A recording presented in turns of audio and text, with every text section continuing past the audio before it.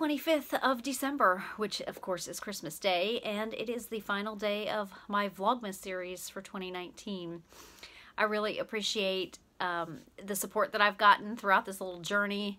Uh, I was a little bit, not nervous, because I really don't get nervous, but I was a little bit, you know, unsure of whether or not, you know, I'd have anything to say or how awkward it would be or whatever, but I think I fell into it pretty easily and I've enjoyed it. So I do appreciate whether you, you know, you watched just this one, you watched every single one, whether, you know, you popped in and out, however you came and spent some time with me. I really do appreciate it and I thank you from the bottom of my heart. And I especially thank my biggest fan, my niece, V. Uh, she is also a knitter and uh, just a crafty, all-around kind of crafty person. So um, thank you, ma'am, and I look forward to seeing you on Friday.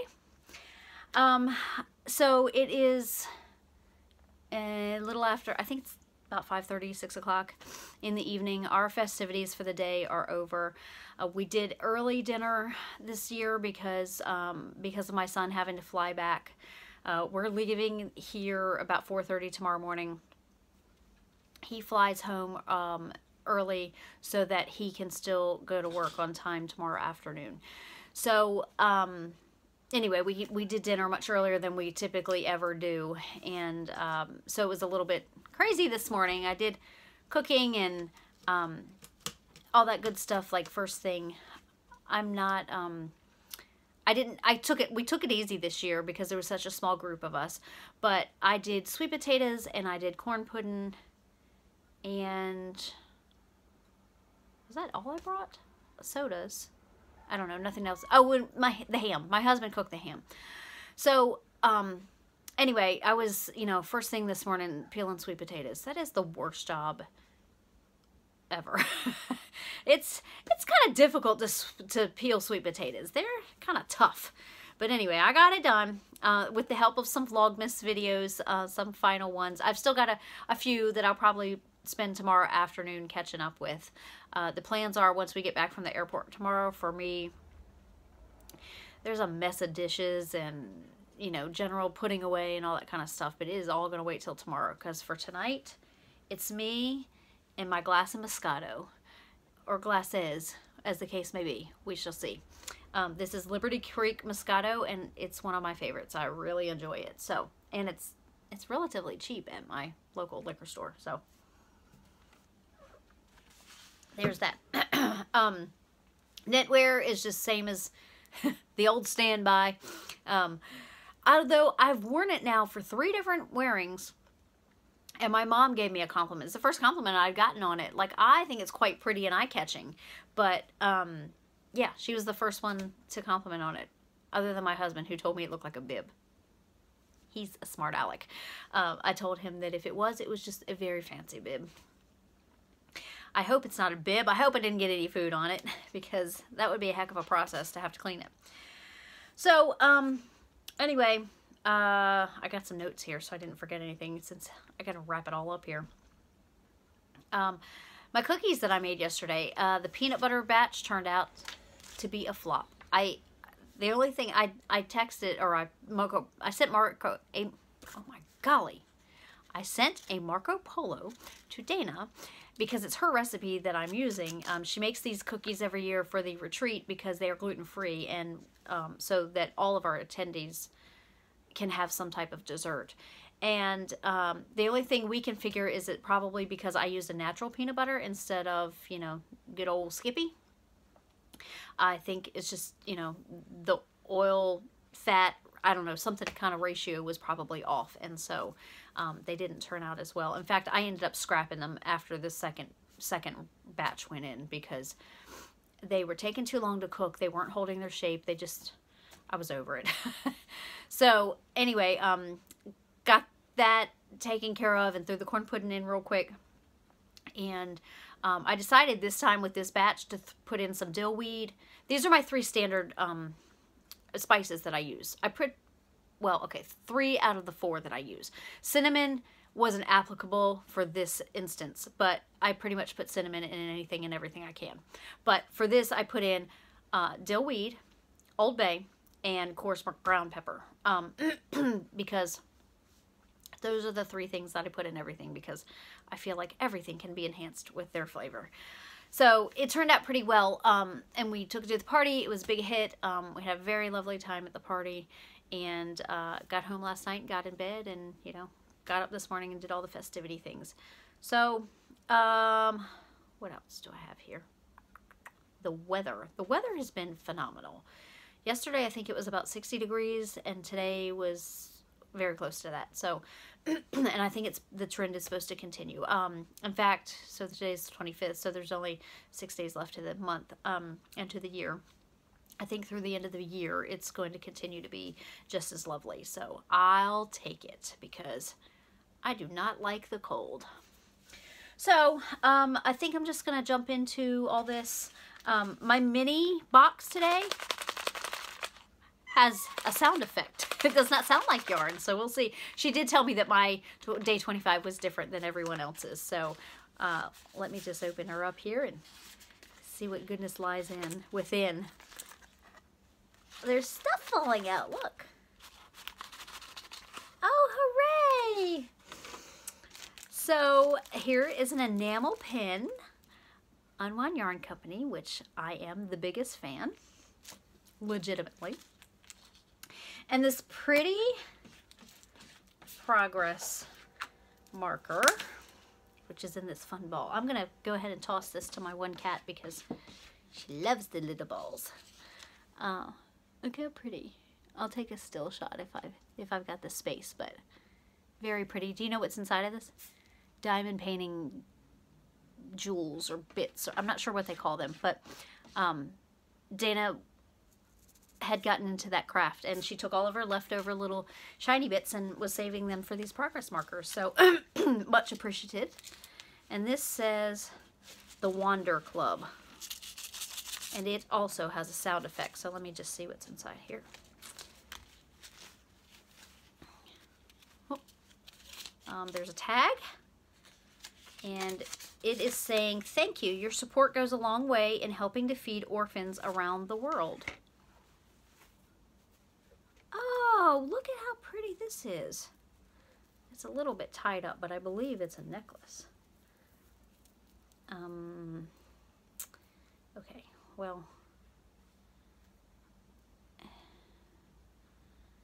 there is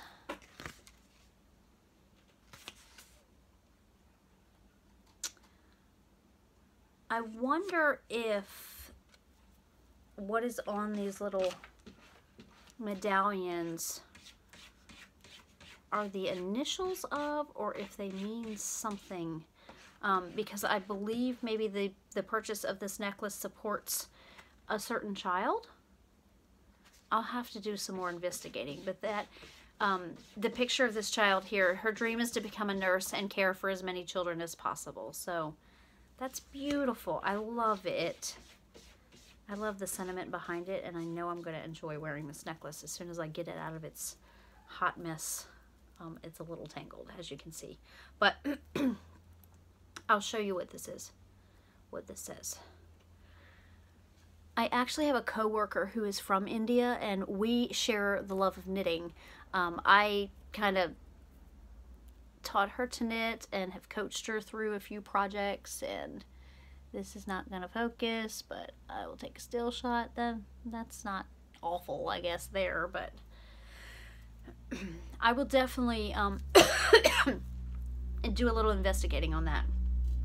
But I love it nonetheless.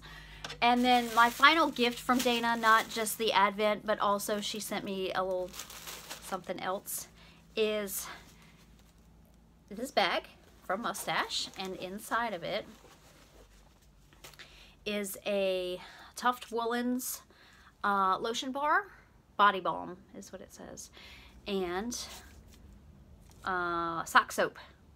And they are both the Smoky Mountains scent, which probably smells like all the happiness in all the world. I'm just going to tell you that because it is one of the happiest places on earth. Forget Disney. it just smells like clean mountain air. Like I can just picture myself there right now. Ah, good stuff. And then there is a skein of yarn to go with it. Now, because the crinkle gets on my nerves, I'm going to pause this and open it separately on camera, but I'm going to turn the volume down. So, just a moment.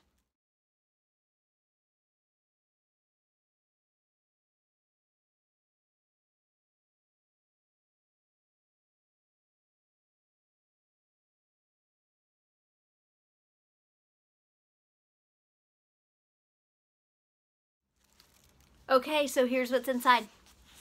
My favorite things.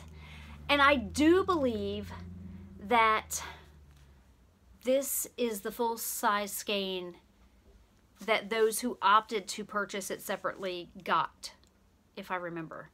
We've had many conversations about the Advent leading up to its release. So I'm thinking that's right though. But look at how pretty. Look at these speckles they're just look at this one right here. This is just speaking to my heart. Right there. I know it's not focusing very well.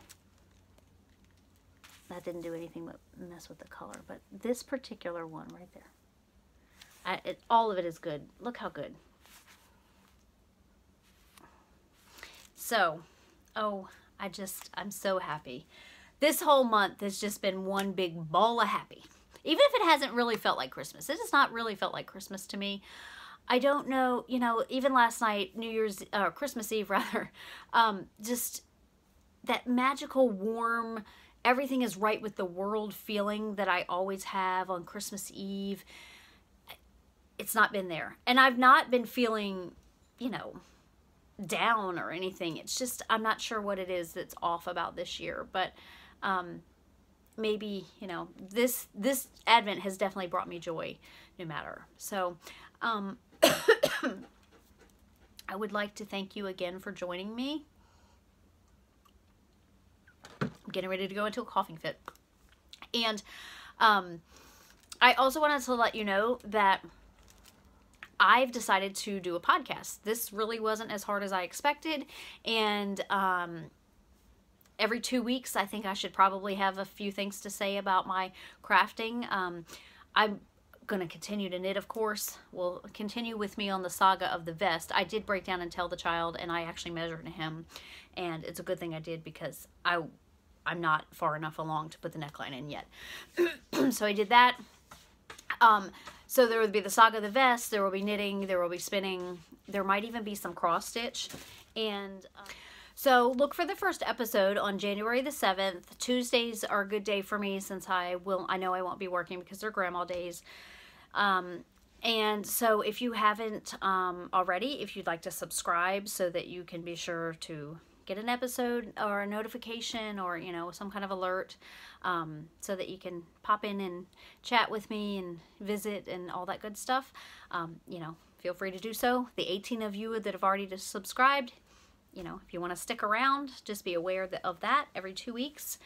And I guess with that, I will say goodbye. And I really want to thank Dana from the bottom of my heart, bringing me this this great big ball of joy for the entire month of December and all year long. I do appreciate your hard work and I appreciate your friendship more than you know. And with that, I will just say good evening. Thank you. Merry Christmas to all and to all a good night. Bye.